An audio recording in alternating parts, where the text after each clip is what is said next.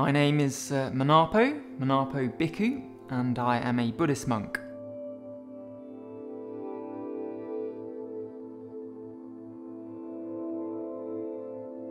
A bhikkhu is a fully ordained Buddhist monk. The word literally means one who depends on alms. Not these kinds of alms, but alms as in gifts of food. Typical day will begin at half past five, so a bell, big bell will be rung at half past five, and then hopefully everybody gets up. And then at 6 am, there is what we call morning puja, and that is an hour of chanting followed by meditation.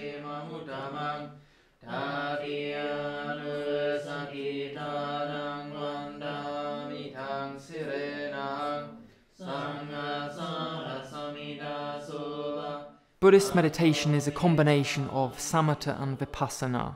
Samatha means calming, stilling the mind, making it peaceful, and most importantly, clear. Vipassana means insight, and this is the goal of Buddhism. So we're developing a concentrated mind that is able to see things clearly and then let go. Then at uh, half past seven, we have chores, and these go on for an hour. An important part of the monastic discipline is, is looking after the place in which you live. You would usually find monasteries to be very clean and well kept places. Then at about half past eight, I will have a period of personal time. Enlightenment is when we fully understand the Four Noble Truths. The first noble truth is that this ordinary life of ours involves suffering. The second noble truth is that our suffering is caused by our craving and our desires. The third noble truth is that this suffering can be ended by letting go of craving. And the fourth noble truth is the Noble Eightfold Path, the Buddha's teachings which lead to the ending of suffering. Then at 11 we eat our one meal of the day and we have to eat that before 12. And that is a ceremony. So we monks have to formally receive the food. So we don't just go and help ourselves, it's all given to us. I've been a Buddhist monk for almost 17 years and I haven't had any money during that time, not even a penny. So that means that we are completely dependent upon the generosity of others.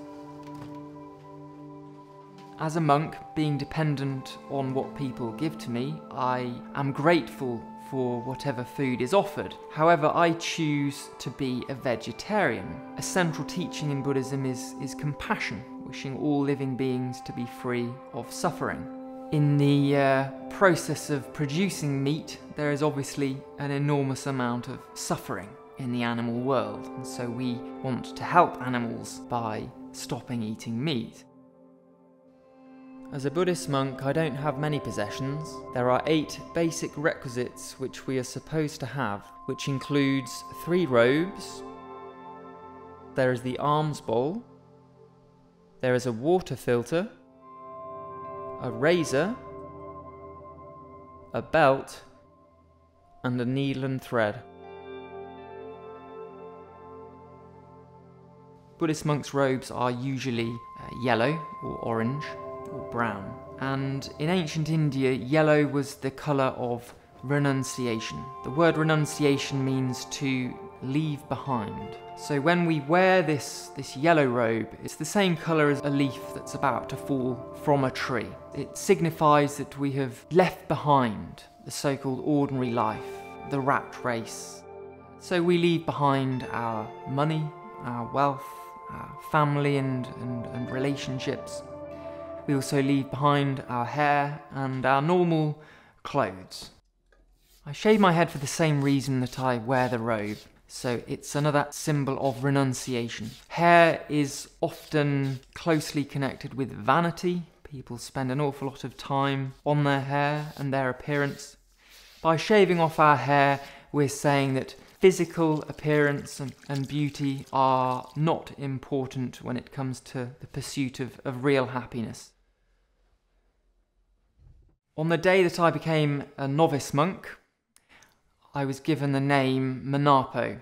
Manapo is a Pali word, so Pali is the, the language of the ancient Buddhist texts. It means the likable one. So whether my teacher found me likable or whether it's something I need to work on, I'm not quite sure. During the late afternoon, we have time to ourselves, and it will be similar to the morning period. So, walking meditation, sitting meditation, perhaps some private study, reading of Buddhist texts. Walking meditation is very similar to sitting meditation in that we focus on just one thing. So, we, we have a number of paths, a number of walking paths around the monastery and they're just straight paths, and we walk back and forth. And as we walk, we focus very carefully on the soles of our feet touching the ground.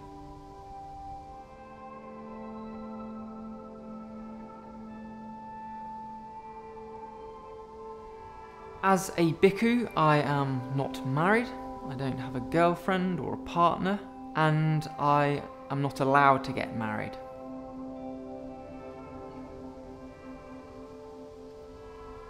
So at 8 pm we have evening puja, which is more or less the same as, as morning puja, but the chanting's a little bit different.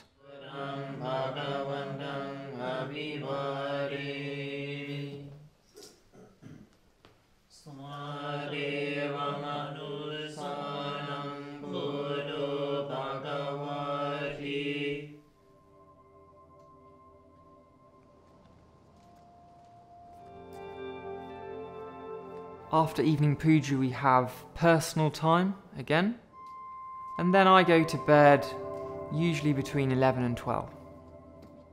So, as a monk, I don't get as much sleep as most people. I do get more than what the Buddha actually recommended. He recommended four hours. And the reason why we don't need to sleep as much is because meditation practice, in part, fulfills the function of, of, of sleeping and dreaming because it can be a very restful activity.